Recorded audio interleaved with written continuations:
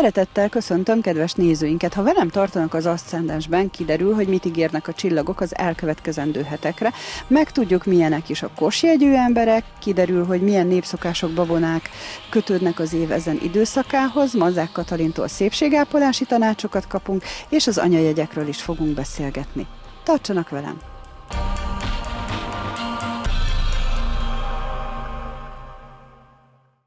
Most figyeljenek, akik kíváncsiak rá, hogy mit hoz a jövő legalábbis a következő pár hétben. Megtudjuk, hogy mit rejt számunkra a csillagok üzenete, de ne felejtsük el soha, hogy a sors nem kényszerít, csak hajlamossá tesz. Tehát, ami nem tetszik, lehet elkerülni, ami tetszik, lehet elősegíteni. Azon kívül azok sem menjenek messzire, akik arra kíváncsiak, hogy milyenek a kosjegyű emberek. Róluk is kapunk némi információt. Kos. Boldog születésnapot! Lazítson, próbálja megélvezni a tavasz első napsugarait, merüljön el az élet apró szépségeiben. Minden megvárja, most egy kicsit nyugalmasabb időszakban tart. Bika, önnek kellenek az inspirációk, persze a lustaságot nem lehet könnyen legyőzni. Itt a tavasz, ébred a természet, ideje, hogy ön is mozgósítsa energiáit a céljaira koncentráljon. Ikrek.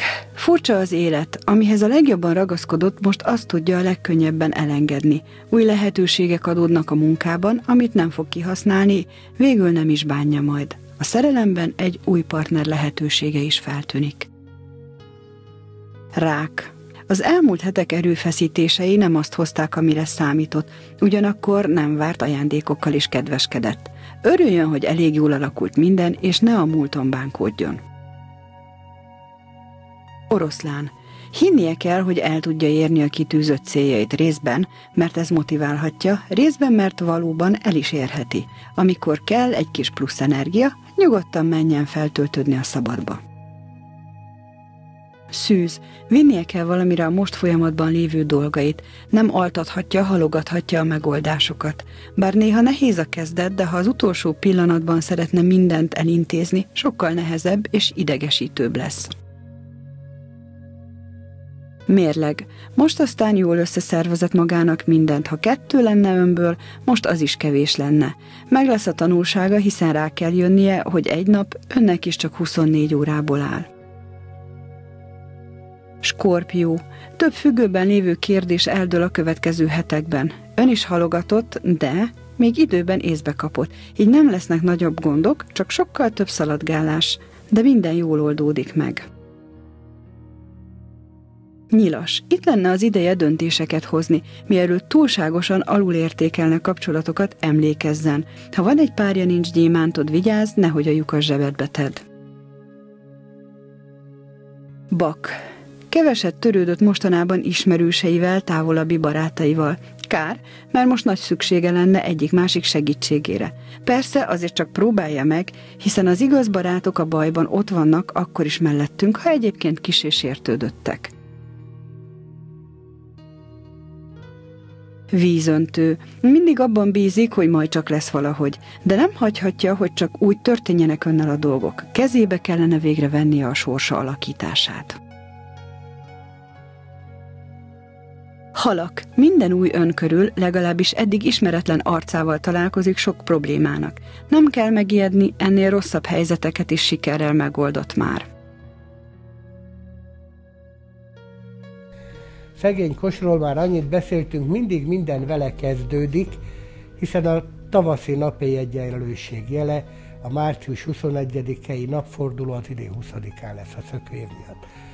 Mindig jelentős, és hát ott kezdődik az év, az új év, a csillagászati, a meteorológiai év, asztrológiai év, tehát mindent azzal kell kezdeni, induljunk el megint a kostól, mint mondtam, a kosok lendületesek, néha akár agresszívak is, úgy fogalmazhatnék röviden a tettek embere. Csinálni kell vezető típus. A kos az, aki hamar kiválik a közösségből, az elsők közé kerül. Nem azért, mert ő tündökölni akar, van ilyen jegy is, nem azért, hogy jobban megéljen. Úgy van vele, mint amikor rendezlek ilyen nagy össznépi futóversenyt, és elmegy, játszunk, mozogjunk egy kicsit, futok egyet ha már futok, akkor futok igazán, mondja a kos, és elkezdi, de komolyan véve. és amikor beér elsőnek a célra, én győztem. Én csak futottam, én nem győzni akartam. Az a kos lendülete ilyen.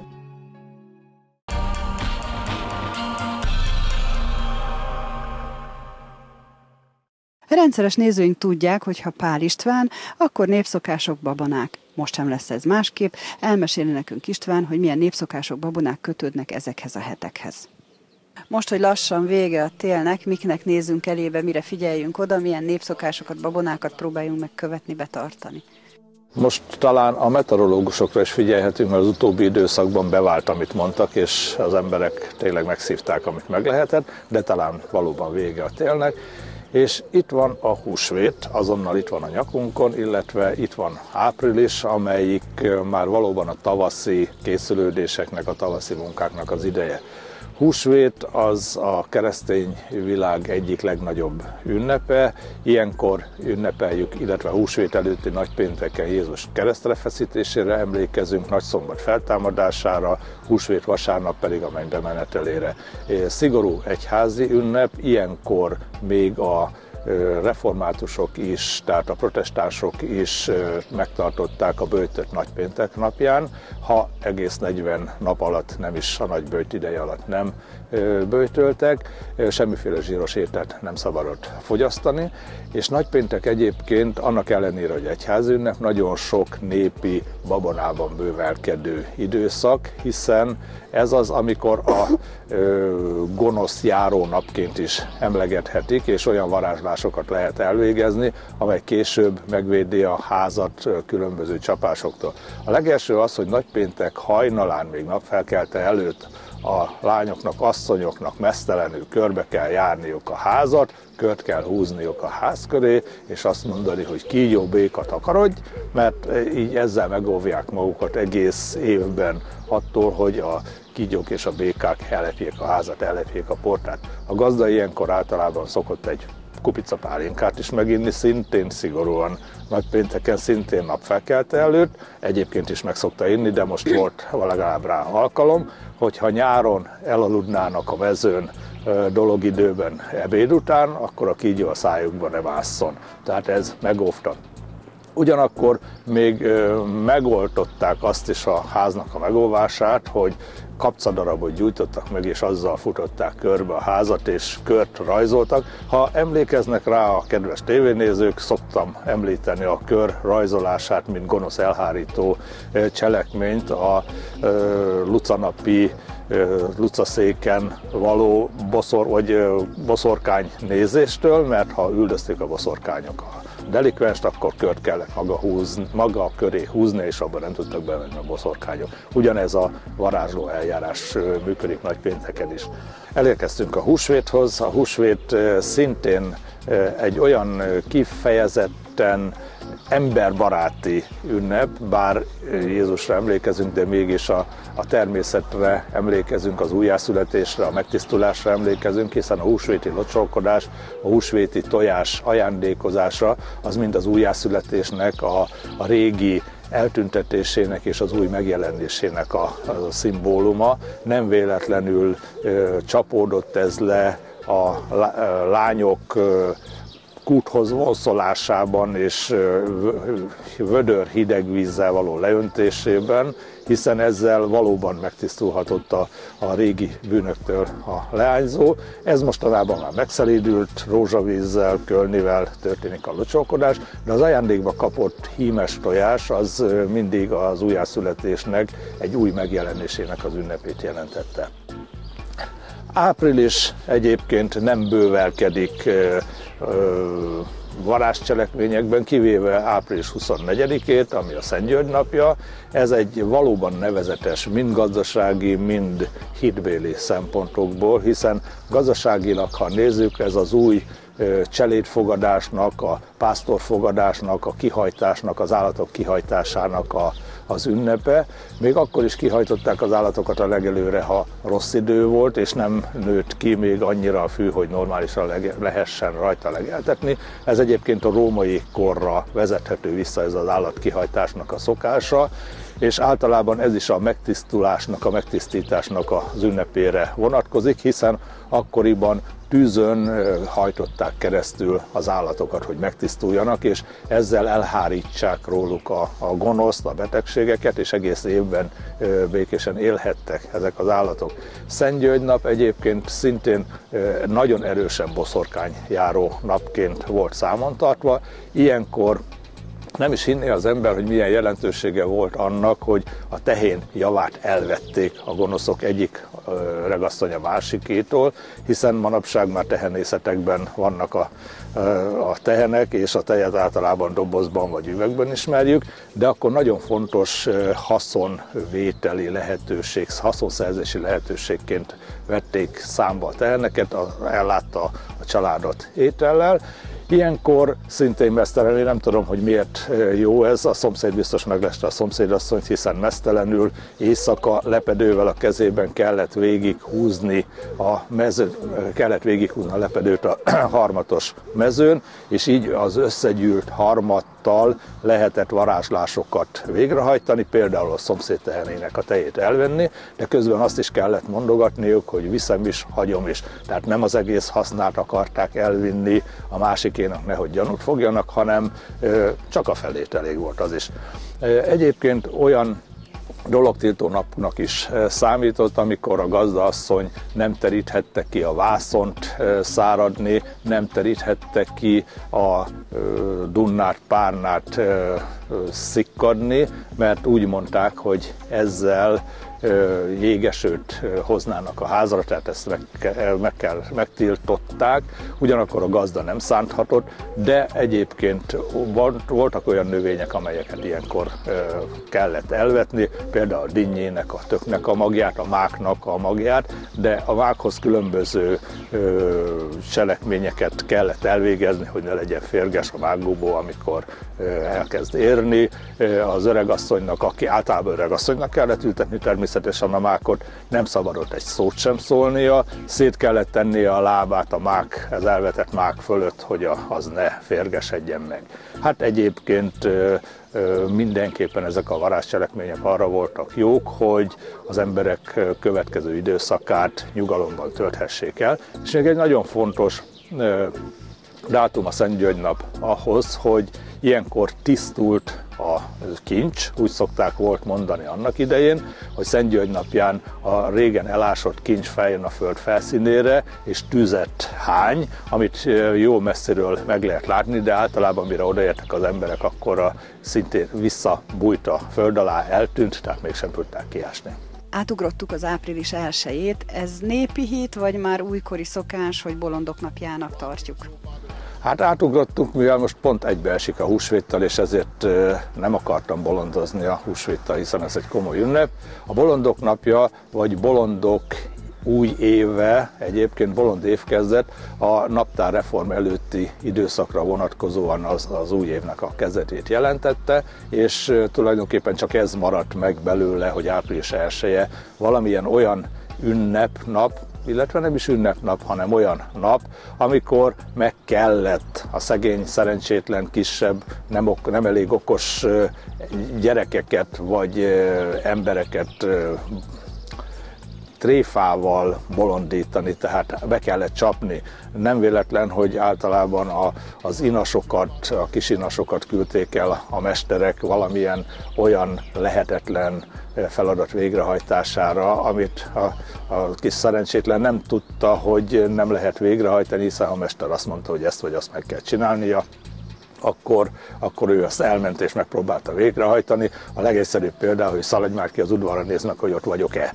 Tehát és amikor visszajött, akkor nagy csúfosan elkezdték neki mondani, hogy április bolondja felmászott a toronyba, megkérdezte hány óra, fél tizenegy, bolond, ez az egy. Szóval ilyen apróságok, vagy vigyen el a mentő, ott van az a kettő, vigyen el a mentő. Tehát mi is gyerekkorunkban nagyon nagy előszeretettel hűztük ezt a hülyességet, de egyébként ebbe benne volt általában a sajtó is, meg manapság is benne van, újságok is álhírek terjesztésével, manapság az interneten mindenféle álhíreket lehet olvasgatni és terjesztik is, de ez korábban főleg erre az egy napra koncentrálódott.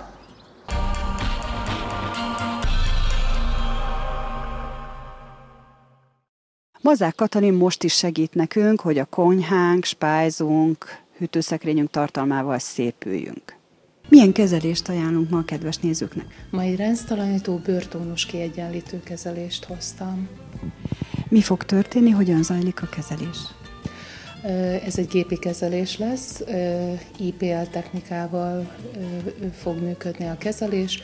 Letisztítás után egy hűtőzselé kerül fel a bőrfelületre, azt követően jön maga a fényterápia, és ezután egy nyugtató pakolás jön, majd egy fényvédővel zárjuk a kezelést.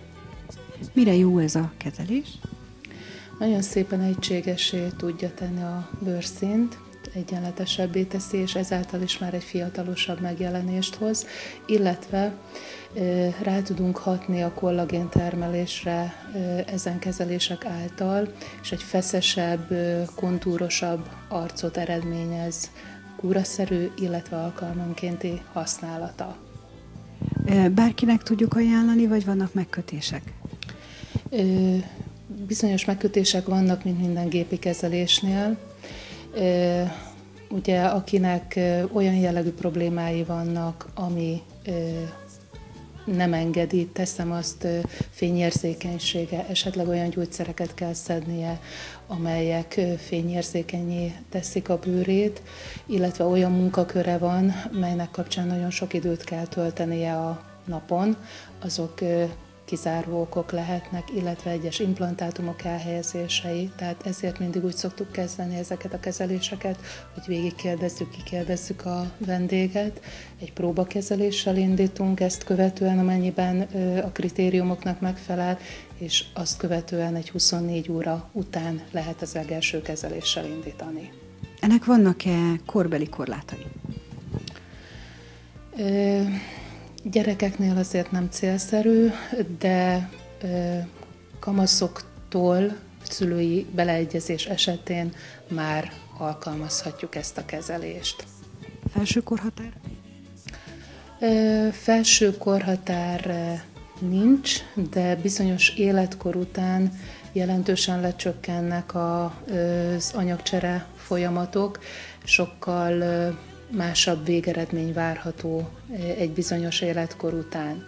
De nyilván ez is egyénfüggő, hogy ki milyen életkori sajátosságokkal bír, hiszen azért vannak olyan 70-80 évesek, akik eh, jóval meghaladják eh, korukat, illetve vannak sokkal fiatalabbak, akik sajnos pluszban haladják meg jóval saját korosztályukat. Utókezelésre van-e szükség ennél az eljárásnál? Így van utókezelésre is, illetve kezeléseknél, hogyha kúraszerűen alkalmazzuk, illetve egy-egy alkalomnál is arra figyelni kell, hogy napoztatni a bőrt nem szabad.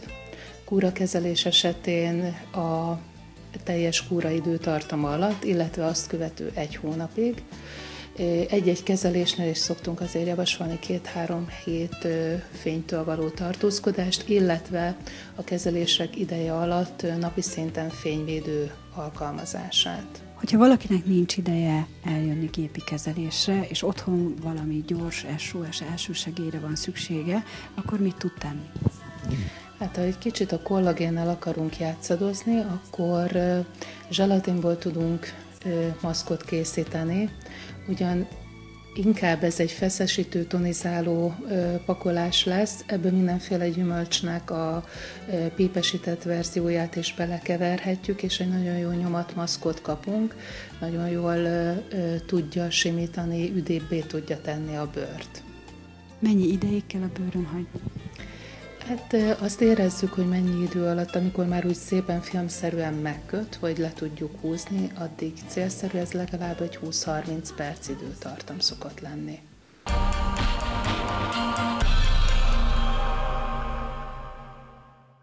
Egyre több szó esik az anyajegyekről, hogy érdemes utána járni, hogy nem rejtenek-e különösebb veszélyt szervezetünkre. Hiszen van, amikor teljesen ártalmatlanul üldögélnek bőrünkön, de van, amikor nagyon komoly veszélyforrásai lehetnek. Hogyan és miért érdemes ennek utána járni, erről fogunk most beszélgetni, valamint megoldásokat is kínálunk.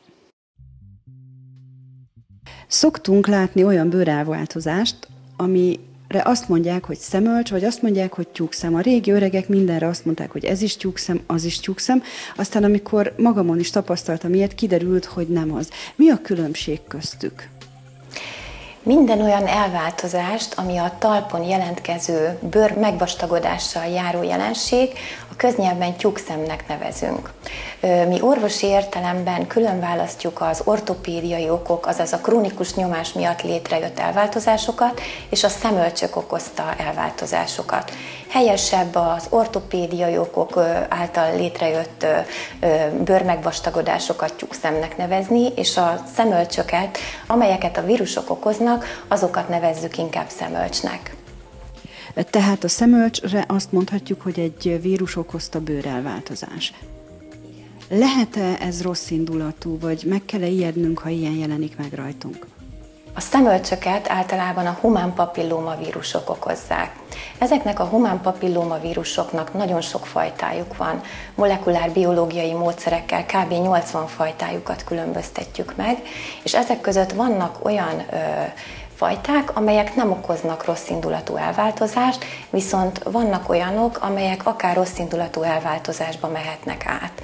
Tehát az a jelentőségük, hogy figyelni kell őket, főleg a nemi szerven okozott vírusos szemölcsös elváltozások esetén a HPV 16-os, 18-as fajtája hajlamos arra, hogy rossz indulatúvá váljon. Tehát ezek szerint, ha jól értem, nagyon nehéz ezeket kivédeni, mert hogy vírus okozza őket. Igen, a HPV okozta fertőzéseket nagyon nehéz megelőzni, bizonyos módszerekkel azért tehetünk ellene. Általában valamilyen bőrsérülésen, bőrrepedésen keresztül jutnak ezek a szervezetbe. Fontos a megfelelő higiéné, lábápolás, ne legyenek rajta repedések, saját papucs viselése fürdőhelyeken, fitnesstermekben a megfelelő szabályok betartása, hogy ne kapjuk el ezeket a vírusokat. Ezek a szemölcsök mindössze esztétikai problémát jelentenek, vagy jobb, hogyha megszabadulunk azoktól, amik olyan helyen vannak, ahol irritációnak vannak kitéve, hogy esetleg ne fertőzzenek tovább?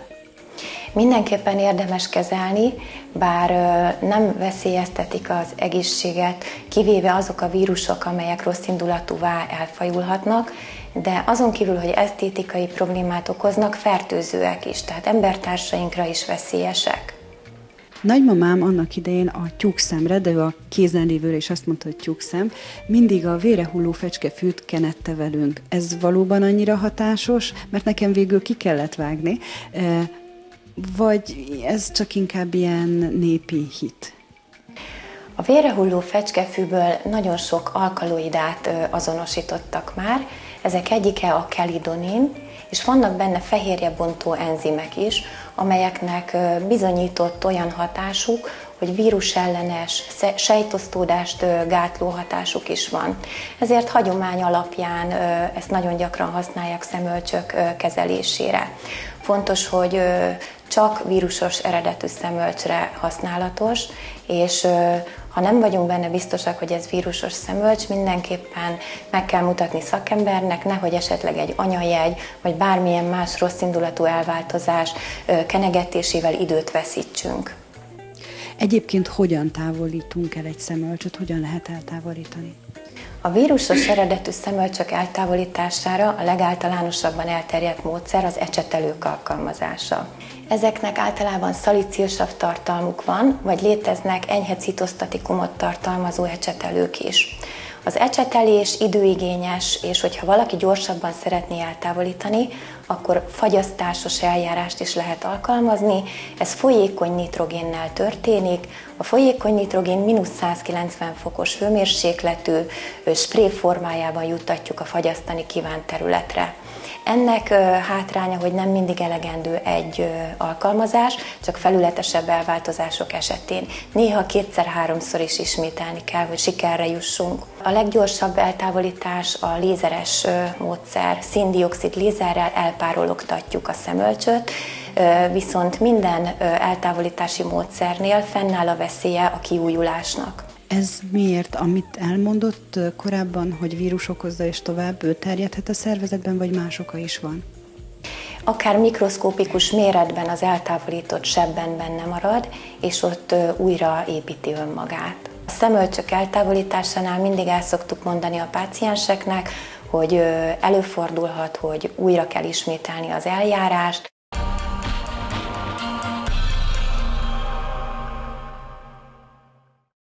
Ennyi fért mai műsorunkba, én megköszönöm megtisztelő figyelmüket, várom Önöket legközelebb is itt a Kölcsei Televízió Ascendens című műsorába. Addig is vigyázzanak magukra, a legjobbakat. Viszontlátásra!